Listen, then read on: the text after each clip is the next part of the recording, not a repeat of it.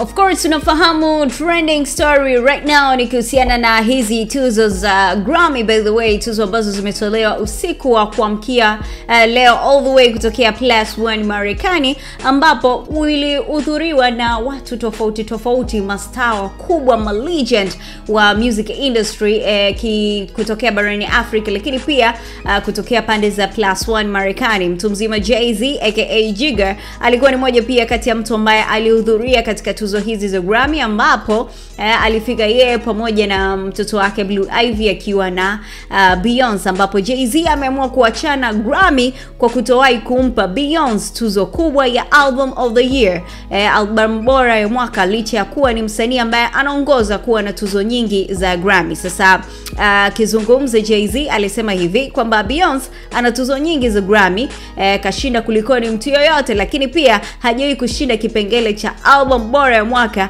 Hata nyie wenyewe mkiangalia, hii haiko sawa kabisa. Fikirieni kuhusu hilo. Beyonce ndiyo anaongoza kwa kuwa na tuzo nyingi za Grammy, ambapo amekuwa na tuzo thelathini na mbili, lakini kati ya tuzo hizo hajawahi kushinda kipengele cha album bora ya mwaka. Of course tunafahamu hizi tuzo za Grammy si mara ya kwanza kuona of course watu wakiwa wanazilalamikia, watu wakizungumzia. Tunafahamu mtu mzima kama Drake ameshasemaga kabisa atolewe kwenye hizi tuzo za Grammy, lakini pia in spite of all that uh, tuzo hizi za mwaka huu hapa 2024 2023 za Grammy zimekuwa zina malalamiko makubwa kuliko ni I think kipindi chote hicho cha nyuma, most especially kwa Africans uh, baada ya Nigerians kuto kubeba tuzo hata moja. Sijui unaelewa?